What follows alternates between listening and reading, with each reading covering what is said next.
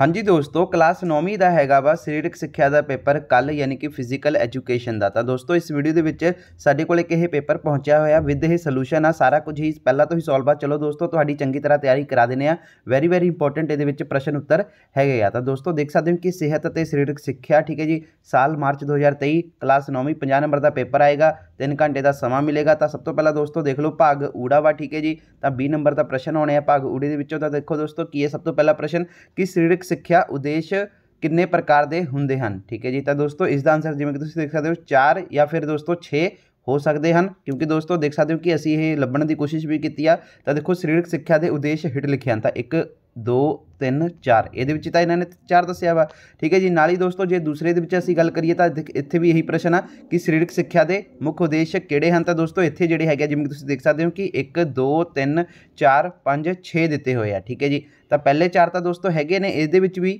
ਠੀਕ ਹੈ ਜੀ? ਆਹ ਵਾਲੇ ਬਟ ਦੋਸਤੋ ਦੋ ਲਾਸਟ ਦੇ ਵਿੱਚ ਇਹਨਾਂ ਨੇ ਹੋਰ ਜਿਹੜੇ ਹੈਗੇ ਐਡ ਕਰ ਦਿੱਤੇ ਤਾਂ ਦੋਸਤੋ ਇਸ ਲਈ ਅਸੀਂ ਕਹਿ ਸਕਦੇ ਹਾਂ ਕਿ ਇਹਨਾਂ ਦੋਨਾਂ ਦੇ ਵਿੱਚ ਦੋਸਤੋ 4 ਜਾਂ ਫਿਰ 6 ਇਹਦਾ ਆਨਸਰ ਆਏਗਾ ਠੀਕ ਹੈ ਜੀ ਤਾਂ ਜਿੱਥੇ ਤੱਕ ਮੋਸਟ ਪ੍ਰੋਬੇਬਲੀ ਚਾਂਸ ਆ ਉਹ 6 ਹੈਗਾ ਵਾ ਤੁਹਾਡਾ ਤੇ ਹੁਣ ਦੋਸਤੋ ਅਗਲਾ ਪ੍ਰਸ਼ਨ ਕੀ ਹੈ ਬਾਕੀ ਅਗਰ ਤੁਹਾਨੂੰ ਇਸ ਦਾ ਕਰੈਕਟ ਆਨਸਰ ਪਤਾ ਹੈ ਤਾਂ ਕਮੈਂਟ ਬਾਕਸ ਦੇ ਵਿੱਚ ਮੈਨੂੰ ਦੱਸ ਦੇਣਾ ਅੱਗੇ ਦੋਸਤੋ ਕ੍ਰਿਕਟ ਖੇਡ ਵਿੱਚ ਅੰਪਾਇਰਾਂ ਦੀ ਗਿਣਤੀ ਕਿੰਨੀ ਹੁੰਦੀ ਹੈ 2 ਜਾਂ ਫਿਰ ਦੋਸਤੋ 3 ਠੀਕ ਹੈ ਜੀ ਕਿਉਂਕਿ ਦੋਸਤੋ ਜਿਹੜੇ ਹੈਗੇ ਦੋ ਅੰਪਾਇਰ ਤਾਂ ਹੁੰਦੇ ਜਿਹੜੇ ਫੀਲਡ ਦੇ ਵਿੱਚ ਹੁੰਦੇ ਆ ਤੀਸਰਾ ਦੋਸਤੋ ਇੱਕ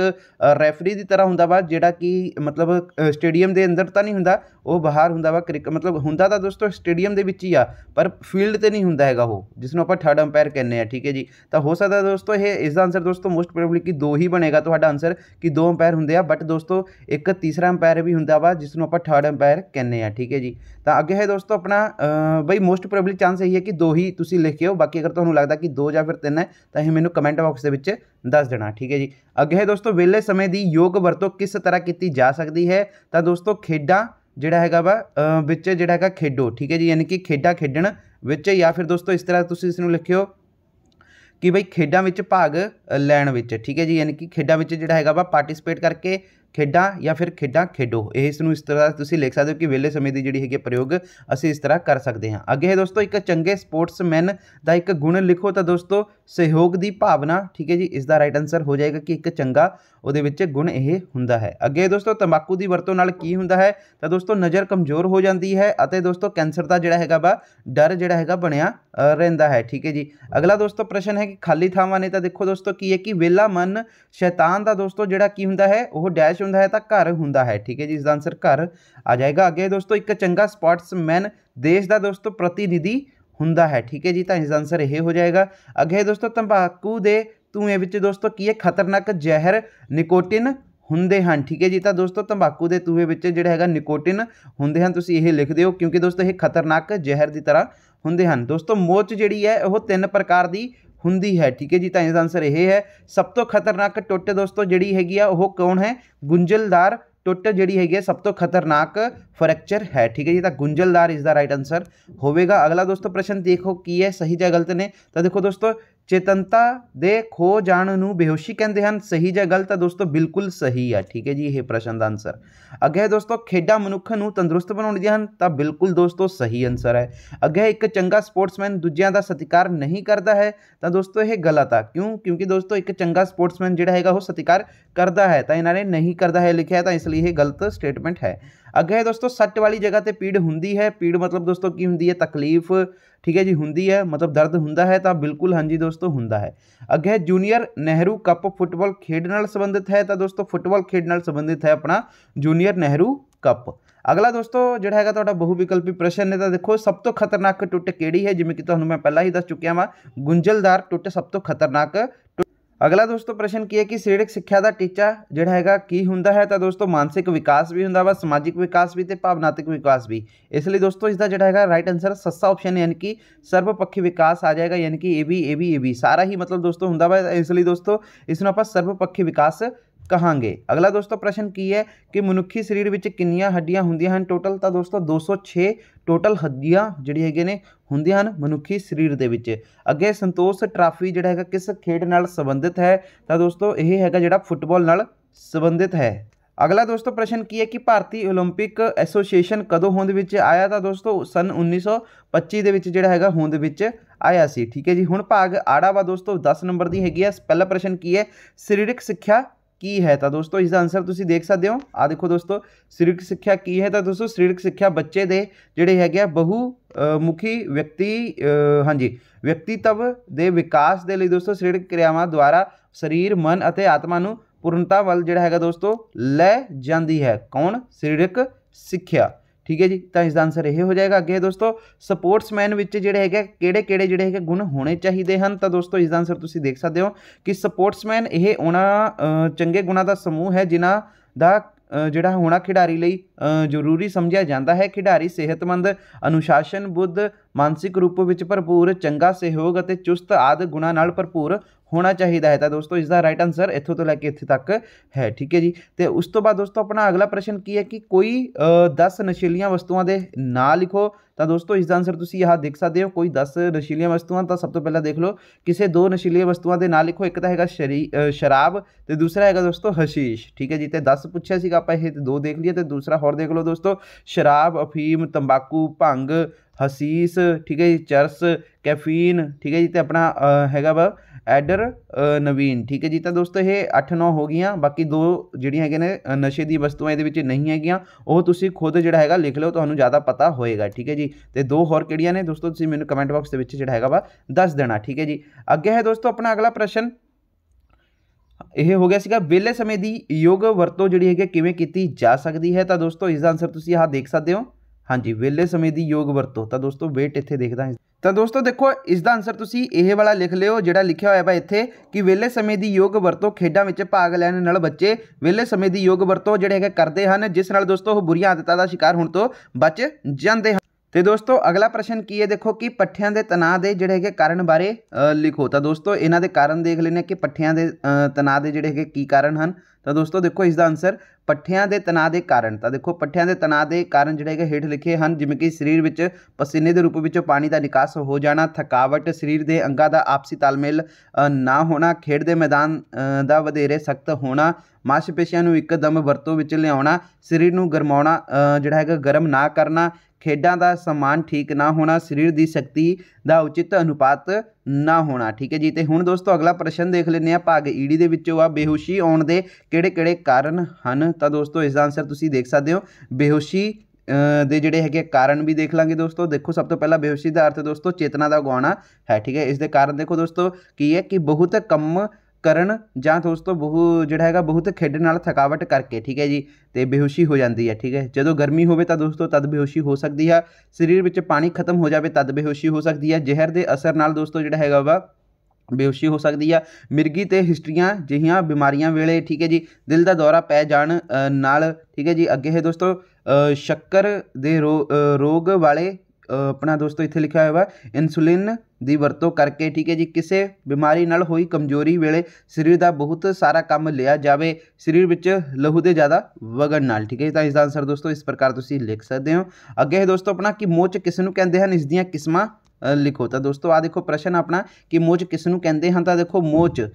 ਕਿਸੇ ਜੋੜ ਦੇ ਬੰਧਨ ਦਾ ਜਿਹੜਾ ਹੈਗਾ ਫਟ ਜਾਣਾ ਮੋਚ ਕਹਾਉਂਦਾ ਹੈ ਸਧਾਰਨ ਤੌਰ ਤੇ ਦੋਸਤੋ ਗਿੱਟੇ ਗੋਡੇ ਤੇ ਰੀੜ ਦੀ ਹੱਡੀ ਅਤੇ ਦੋਸਤੋ ਗੁੱਟ ਨੂੰ ਮੋਚ ਆਉਂਦੀ ਹੈ ਤਾਂ ਇਹਨਾਂ ਦੀਆਂ ਕਿਸਮਾਂ ਦੇਖ ਲਓ ਮੋਚ ਦੀਆਂ ਕਿਸਮਾਂ ਟਾਈਪ ਆਫ ਸਪਰੇਨ ਯਾਨੀ ਕਿ ਮੋਚ ਹੇਠ ਲਿਖੇ ਤਿੰਨ ਕਿਸਮਾਂ ਦੀ ਹੁੰਦੀ ਹੈ ਸਭ ਤੋਂ ਪਹਿਲਾ ਹੈਗਾ ਨਰਮ ਮੋਚ ਇਸ ਹਾਲਤ ਵਿੱਚ ਮੋਚ ਦੀ ਜਗ੍ਹਾ ਤੇ ਕੁਝ ਕਮਜ਼ੋਰੀ ਸੋਜ ਅਤੇ ਪੀੜਾ ਮਹਿਸੂਸ ਹੁੰਦੀ ਹੈ ਦੂਸਰੀ ਹੈ ਦਰਮਿਆਨੀ ਮੋਚ ਇਸ ਦਸ਼ਾ ਵਿੱਚ ਸੋਜ ਅਤੇ ਪੀੜਾ ਵਿੱਚ ਜਿਹੜਾ ਹੈਗਾ ਵਾਧਾ ਹੋ ਜਾਂਦਾ ਹੈ ਪੂਰਨ ਮੋਚ ਤਾਂ ਇਸ ਦਿਸ਼ਾ ਵਿੱਚ ਪੀੜਾ ਇੰਨੀ ਵੱਧ ਹੋ ਜਾਂਦੀ ਹੈ ਕਿ ਸਹਿਨ ਨਹੀਂ ਕੀਤੀ ਜਾ ਸਕਦੀ ਤਾਂ ਦੋਸਤੋ ਇਹ ਆਨਸਰ ਇਸ ਦਾ ਹੋ ਗਿਆ ਅੱਗੇ ਹੈ ਆਪਣਾ ਸਪੋਰਟਸਮੈਨ ਸ਼ਿਪ ਕੀ ਹੈ ਠੀਕ ਹੈ ਜੀ ਸਪੋਰਟਸਮੈਨਸ਼ਿਪ ਕੀ ਹੈ ਤਾਂ ਦੋਸਤੋ ਦੇਖੋ ਆਨਸਰ ਇਸ ਦਾ ਸਪੋਰਟਸਮੈਨਸ਼ਿਪ ਕੀ ਹੈ ਤਾਂ ਦੇਖੋ ਸਪੋਰਟਸਮੈਨਸ਼ਿਪ ਦਾ ਅਰਥ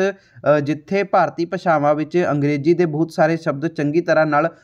ਅਪਣਾ ਲਏ ਗਏ ਹਨ ਉੱਥੇ ਹੀ ਸਪੋਰਟਸਮੈਨ ਅਤੇ ਸਪੋਰਟਸਮੈਨ ਨੂੰ ਜਿਹੜਾ ਸਪੋਰਟਸਮੈਨ ਵੀ ਖੇਡਾਂ ਦੇ ਖੇਤਰ ਵਿੱਚ ਮਹੱਤਵਪੂਰਨ ਸ਼ਬਦ ਹਨ ਸਪੋਰਟਸਮੈਨਸ਼ਿਪ ਇੱਕ ਚੰਗੇ ਖਿਡਾਰੀ ਦੀ ਉਹ ਭਾਵਨਾ ਹੈ ਜਾਂ ਵਿਸ਼ੇਸ਼ਤਾ ਹੈ ਜੋ ਇੰਜ ਕਹੀਏ ਕਿ ਉਹ ਸਪਿਰਿਟ ਹੈ ਜਾਂ ਸਪਿਰਿਟ ਹੈ ਜਿਸ ਦੇ ਆਧਾਰ ਤੇ ਦੋਸਤੋ ਕੋਈ ਵੀ ਖਿਡਾਰੀ ਖੇਡ ਦੇ ਮੈਦਾਨ ਵਿੱਚ ਆਰੰਭ ਤੋਂ ਲੈ ਕੇ ਅੰਤ ਤੱਕ ਬੜੀ ਯੋਗਤਾ ਨਾਲ ਹਿੱਸਾ ਲੈਂਦਾ ਹੈ ਸਪੋਰਟਸਮੈਨ ਸ਼ਿਪ ਚੰਗੇ ਗੁਣਾਂ ਦਾ ਉਹ ਸਮੂਹ ਹੈ, ਜਿਨ੍ਹਾਂ ਨੂੰ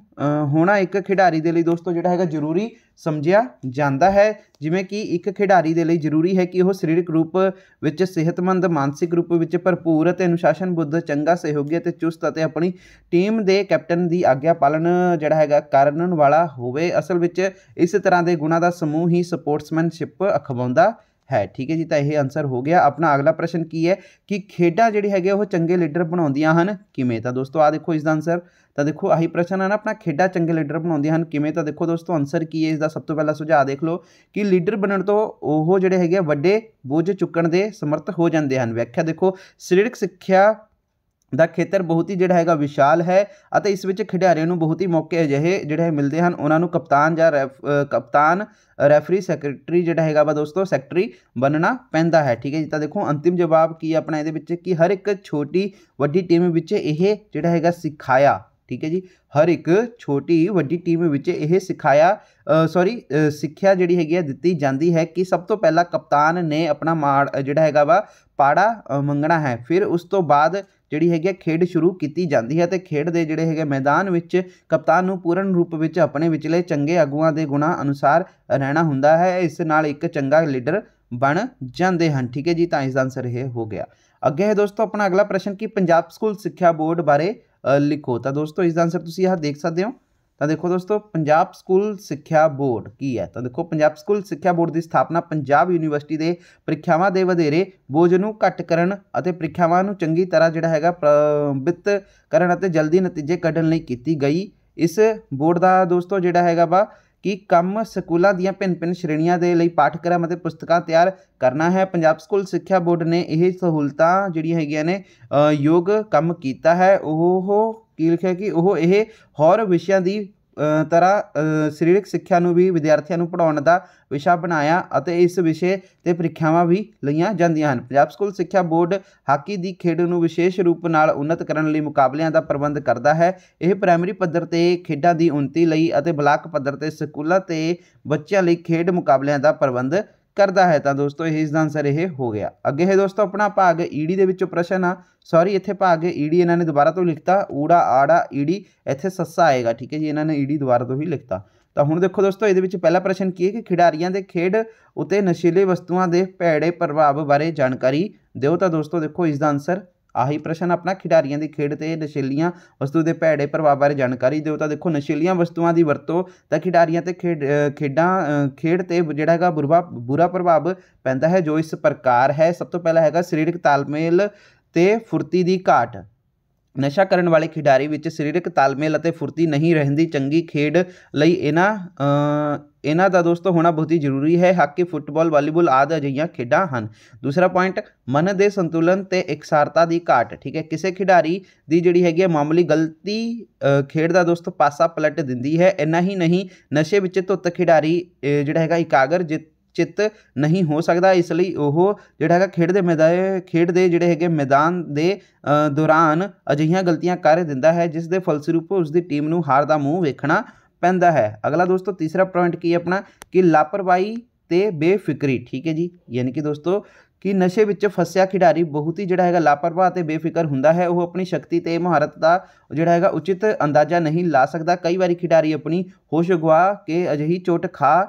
ਜਾਂਦਾ ਹੈ ਜਿਸ ਤੇ ਦੋਸਤੋ ਸਾਰੀ ਉਮਰ ਜਿਹੜਾ ਹੈ ਉਸ ਨੂੰ ਪਛਤਾਉਣਾ ਪੈਂਦਾ ਹੈ ਅੱਗੇ ਹੈ ਦੋਸਤੋ ਆਪਣਾ ਚੌਥਾ ਪੁਆਇੰਟ ਕਿ ਖੇਡ ਭਾਵਨਾ ਦਾ ਅੰਤ ਨਸ਼ੇ ਵਿੱਚ ਰਹਿਣ ਦੇ ਨਾਲ ਖਿਡਾਰੀ ਦੀ ਜਿਹੜੀ ਹੈ ਖੇਡ ਦੀ ਭਾਵਨਾ ਅੰਤ ਹੋ ਜਾਂਦੀ ਹੈ ਨਸ਼ਾ ਕਰਨ ਵਾਲੇ ਖਿਡਾਰੀ ਦੀ ਸਥਿਤੀ ਅਰਧ ਬੇਹੋਸ਼ੀ ਜਿਹੜੀ ਹੈਗੀ ਹੋ ਜਾਂਦੀ ਹੈ ਉਸ ਦੇ ਮਨ ਦਾ ਜਿਹੜਾ ਹੈਗਾ ਸੰਤੁਲਨ ਵਿਗੜ ਜਾਂਦਾ ਹੈ ਉਹ ਖੇਡ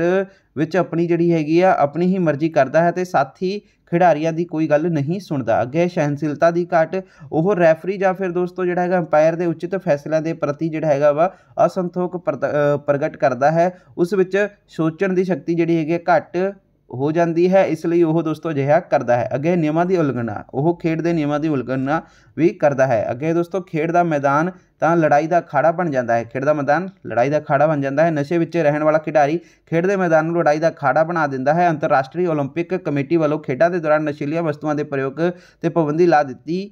ਗਈ ਹੈ। ਜੇ ਖੇਡ ਦੌਰਾਨ ਨਸ਼ੇ ਵਿੱਚ ਹਾਲਤ ਵਿੱਚ ਫੜਿਆ ਜਾਵੇ ਤਾਂ ਉਸ ਦਾ ਜਿੱਤਿਆ ਹੋਇਆ ਇਨਾਮ ਵਾਪਸ ਲੈ ਲਿਆ ਜਾਂਦਾ ਹੈ। ਇਸ ਲਈ ਖਿਡਾਰੀਆਂ ਨੂੰ ਚਾਹੀਦਾ ਕਿ ਉਹ ਖੁਦ ਨੂੰ ਹਰ ਤਰ੍ਹਾਂ ਦੀਆਂ ਨਸ਼ੀਲੀਆਂ ਵਸਤੂਆਂ ਦੇ ਸੇਵਨ ਤੋਂ ਦੂਰ ਰੱਖਣ ਅਤੇ ਸਰਵਉੱਤਮ ਖੇਡਾਂ ਦੇ ਪ੍ਰਦਰਸ਼ਨ ਕਰਕੇ ਆਪਣੇ ਦੇਸ਼ ਦਾ ਦੇਸ਼ ਦੇ ਨਾਂ ਨੂੰ ਚਾਰ ਚੰਨ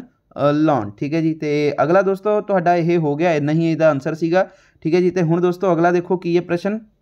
ਮੁੰਡਲੀ ਸਹਾਇਤਾ ਕੀ ਹੁੰਦੀ ਹੈ, ਠੀਕ ਹੈ ਜੀ? ਇਸ ਦੀ ਸਾਨੂੰ ਕਿਉਂ ਜ਼ਰੂਰਤ ਹੁੰਦੀ ਤਾਂ ਦੋਸਤੋ ਦੇਖੋ, ਇਸ ਦਾ ਆਨਸਰ ਕੀ ਹੈ? ਮੁੰਡਲੀ ਸਹਾਇਤਾ ਕੀ ਹੁੰਦੀ ਹੈ? ਇਸ ਦੀ ਸਾਨੂੰ ਕਿਉਂ ਜ਼ਰੂਰਤ ਹੈ? ਦੇਖੋ, ਸਾਡੇ ਜੀਵਨ ਵਿੱਚ ਅਕਸਰ ਜਿਹੜੀਆਂ ਕਿ ਦੁਰਘਟਨਾਵਾਂ ਹੁੰਦੀਆਂ ਰਹਿੰਦੀਆਂ ਹਨ। ਖੇਡ ਦੇ ਮੈਦਾਨ ਵਿੱਚ ਖੇਡਦੇ ਸਮੇਂ, ਠੀਕ ਹੈ ਜੀ, ਤੇ ਚੱਲਦੇ ਸਮੇਂ, ਸਕੂਲ ਦੀ ਪ੍ਰਯੋਗਸ਼ਾਲਾ ਵਿੱਚ ਕੰਮ ਕਰਦੇ ਸਮੇਂ, ਠੀਕ ਹੈ ਜੀ, ਘਰ ਵਿੱਚ ਪੌੜੀਆਂ ਚੜ੍ਹਦੇ ਸਮੇਂ, ਰਸੋਈ ਘਰ ਵਿੱਚ ਕੰਮ ਕਰਦੇ ਹੋਏ ਜਾਂ ਇਸ਼ਨਾਨ ਘਰ ਵਿੱਚ ਇਸ਼ਨਾਨ ਕਰਦੇ ਸਮੇਂ ਵਿਅਕਤੀ ਕਿਸੇ ਵੀ ਸਮੇਂ ਦੁਰਘਟਨਾ ਦਾ ਸ਼ਿਕਾਰ ਹੋ ਸਕਦਾ ਹੈ। ਤਾਂ ਕਈ ਵਾਰੀ ਜਿਹੜਾ ਹੈਗਾ ਖੇਡ ਦੇ ਮੈਦਾਨ ਵਿੱਚ ਅਨੇਕ ਦੁਰਘਟਨਾਵਾਂ ਹੋ ਜਾਂਦੀਆਂ ਹਨ, ਠੀਕ ਹੈ ਜੀ। ਤਾਂ ਇਹਨਾਂ ਦੁਰਘਟਨਾਵਾਂ ਤੋਂ ਬਚਾਅ ਦੇ ਲਈ ਜ਼ਰੂਰੀ ਹੈ ਕਿ ਖੇਡ ਦੇ ਮੈਦਾਨ ਨਾ ਹੀ ਵਧੇਰੇ ਕਠੋਰ ਹੋਵੇ ਅਤੇ ਨਾ ਹੀ ਵਧੇਰੇ ਨਰਮ। ਖੇਡ ਦਾ ਜਿਹੜਾ ਹੈਗਾ ਸਮਾਨ ਵੀ ਠੀਕ ਤਰ੍ਹਾਂ ਨਾਲ ਬਣਿਆ ਹੋਵੇ ਅਤੇ ਖੇਡ ਕਿਸੇ ਚੰਗੇ ਪ੍ਰਬੰਧਕ ਦੇਖਰੇਖ ਵਿੱਚ ਖੇਡੀ ਜਾਵੇ। ਅਜਿਹੇ ਸਮੇਂ ਇਹ ਤਾਂ ਸੰਭਵ ਨਹੀਂ ਕਿ ਡਾਕਟਰ ਹਰ ਜਗ੍ਹਾ ਮੌਜੂਦ ਹੋਵੇ। ਡਾਕਟਰ ਤੇ ਪੁੰਜਣ ਤੋਂ ਪਹਿਲਾਂ ਜਾਂ ਡਾਕਟਰ ਤੱਕ ਲੈ ਕੇ ਜਾਣ ਤੋਂ ਪਹਿਲਾਂ ਪ੍ਰਾਪਤ ਸਾਧਨਾਂ ਤੋਂ ਦੁਰਘਟਨਾ ਦੇ ਸ਼ਿਕਾਰ ਨੂੰ ਜੋ ਸਹਾਇਤਾ ਦਿੱਤੀ ਜਾਂਦੀ ਹੈ, ਉਸ ਨੂੰ ਮੁੱਢਲੀ ਸਹਾਇਤਾ